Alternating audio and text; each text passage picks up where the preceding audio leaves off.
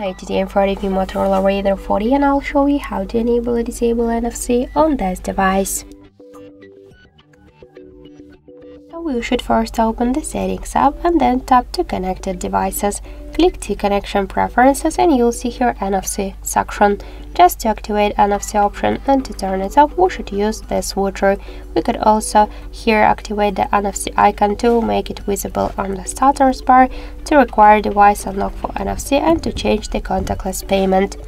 And also I think we could find here NFC icon on the control panel. Just open it and to activate NFC option or to turn it off, we should click on this icon. So that's it, thank you for watching and if you find this video helpful, leave thumbs up and subscribe our channel.